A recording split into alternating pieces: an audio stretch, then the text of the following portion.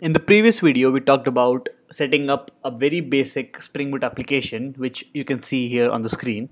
It has a very simple uh, starter, which just has a main function and uh, runs the Spring Boot application.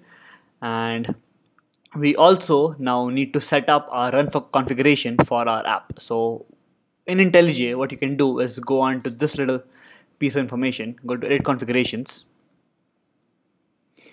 Now you need to select an application called a Quartz Runner and then run it.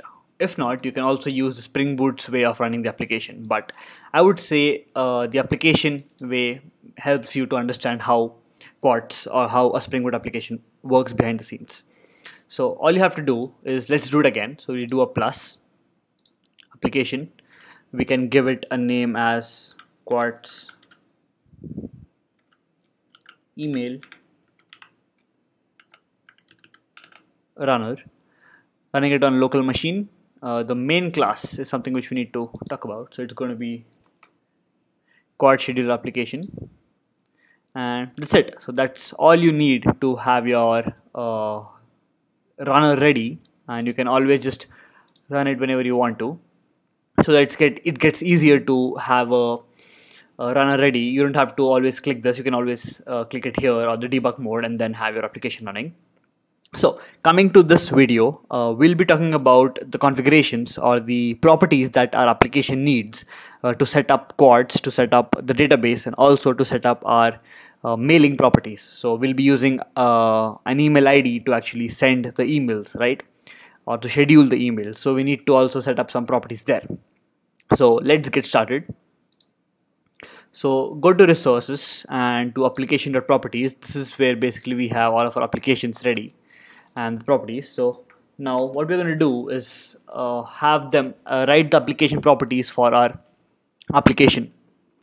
So first comes the spring data source. So the spring data source is basically uh, the database which you'll be connecting to your spring boot application and uh, some information regarding that which includes the url the username and the password. So let me write uh, the ones for mine I will not be giving it the values for now. Uh, I'll be doing it in the next video because the next video is going to be dealing about configuring configuring our database and how we can set up our MySQL uh, server and integrate it with IntelliJ. So spring dot data source dot URL spring dot data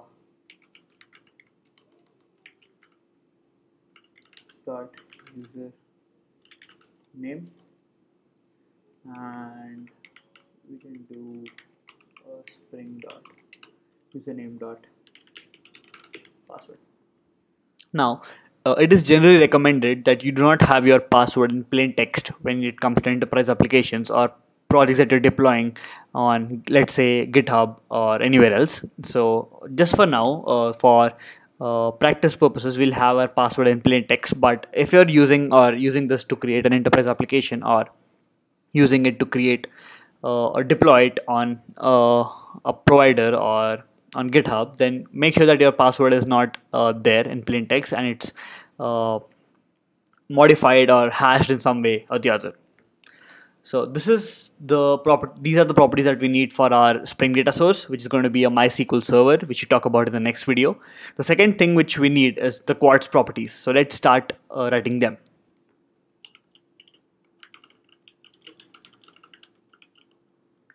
So the first is going to be spring dot quartz dot job store type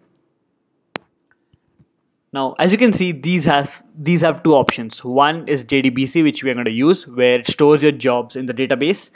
Uh, the upside or the advantage of this is that whenever you uh, shut down the application, then uh, restart it again, it takes up all the failed jobs or it restores the jobs from the database and then runs it again so that you always have that job running. It's never in the failed scenario unless uh, something happens from the user point of view. Next is storing it in memory. So this is basically uh, a way of Quartz to show store your uh, jobs in memory only, not inside a data, external database. So whenever you shut down an application and then uh, run it again, the jobs get uh, destroyed and then uh, new jobs have to be created uh, whenever you restart an application. So since we need our uh, jobs to be persistent and to be inside a database, we'll be using JDBC method or the value. The next is the thread pool count. So the spring dot quartz dot properties org dot quartz dot thread pool dot thread count maybe so this is basically the amount of threads that you want your application to use when it's uh, scheduling its jobs. So for example if you have two or three jobs which are uh, scheduled for the same time you can have five threads in which each of the thread will have its in uh, its own job running uh, at the same time so that it's easier it's less load for the application and for that particular thread. So next comes our mail properties. So since we'll be scheduling our mail uh, using uh, scheduling our mails we'll have to have an email from which we send it from and we also have to tell it what the protocol is what uh, kinds of things are we using. So let's uh, add them.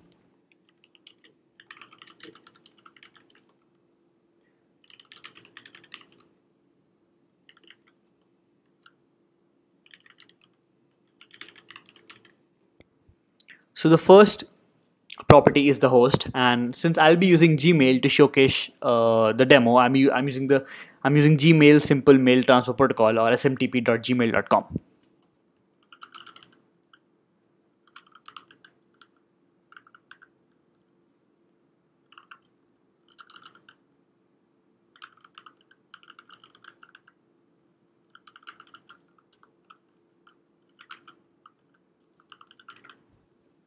So the next two properties are the port and the username.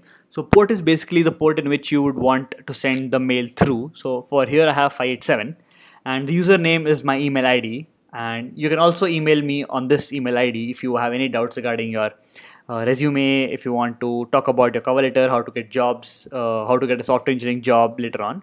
So this is the email which I use and next is going to be the password. So I will not be writing that here but you know uh, again you should not have your password in plain text but you should have them uh, hashed. So spring dot.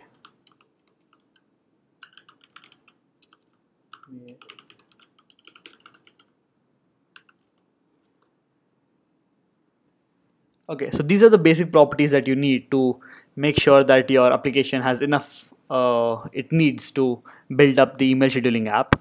The next thing which comes in is two uh, i would say uh, necessary properties one being the authentication and the other being start tls so we'll have that for now and i'll talk about them later in the upcoming videos. So let's just input those properties now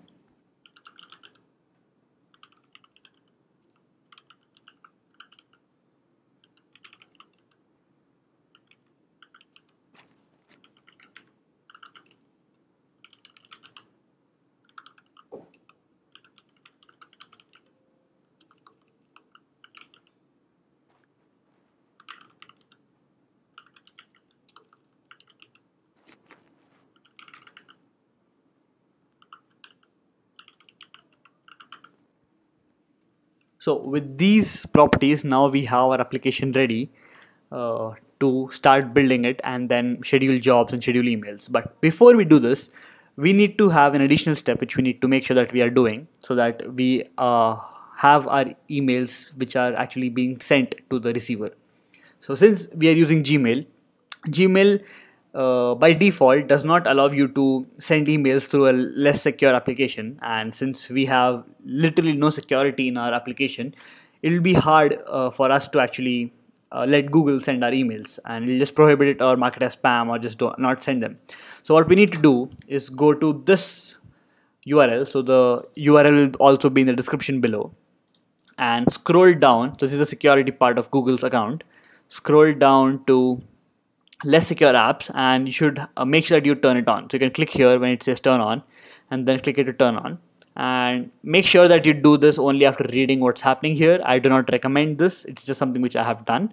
So make sure that this is turned on which you want to use the smtp.gmail.com for your particular uh, email scheduling app. So this is all for this video. In the next video we'll talk about how we can set up the database for quartz uh, on IntelliJ so we'll have our database ready here as you can see a quartz demo. How to do this? How do we actually have our quartz tables so we'll have these kind of tables and we'll talk about what all of them mean. We'll also talk about what quartz is uh, the terminal the terminologies behind quartz and uh, how powerful quartz is when you have to actually schedule an email and how easy it becomes when you want to do it. So thank you for watching and i'll see you in the next one